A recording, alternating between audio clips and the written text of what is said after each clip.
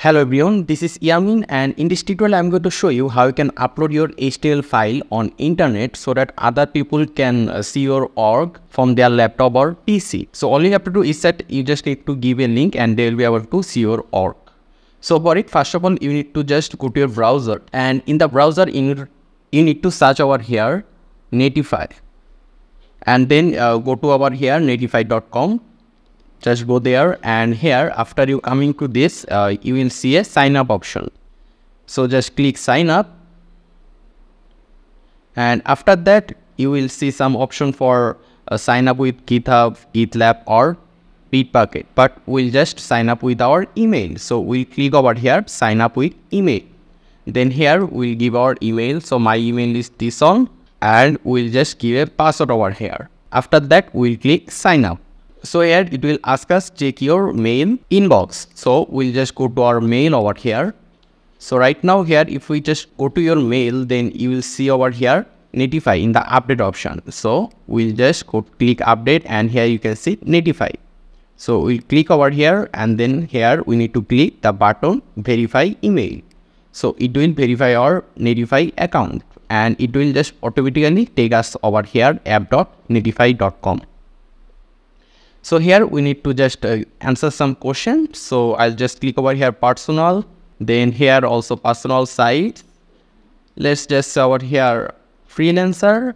Then you can give a name of your team, but we do not have any team over here. So we'll just click continue to deploy.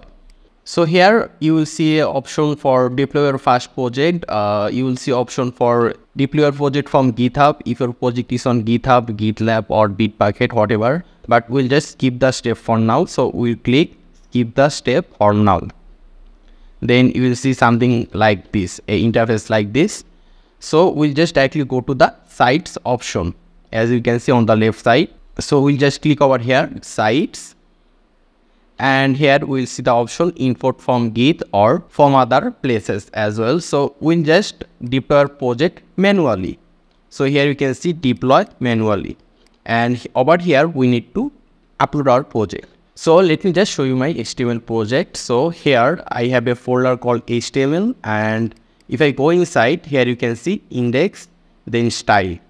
So let me just uh, open the index.html so here you can see this is just html and css a normal animation that i just created. So before we upload our project uh, in the netlify over here let me just say one thing and that is whenever you are uploading anything in the internet internet always uh, first look for the index file. So the main file for your project should be always index.html just make sure that the main file in your folder is index.html okay so right now what we'll do is that we'll just go back to our uh, netlify.com app.netlify.com and over here you can see browse to upload. So let me just drag my project folder over here. So here you, this is our project html project so i'll just drag it and release it over here.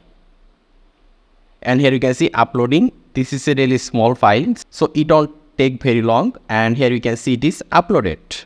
So here you can see deploy success and get org setting up cellular sunflower this uh, site to Netlify so right now we'll just click over here get started and right now, if we just go down here, you can see something like this. Here you can see this is our animation uh, and over here, you can see a icon or whatever over here. If you just click over here on it, then it will take you to this page and here there should be a link and here you can see we have a link over here.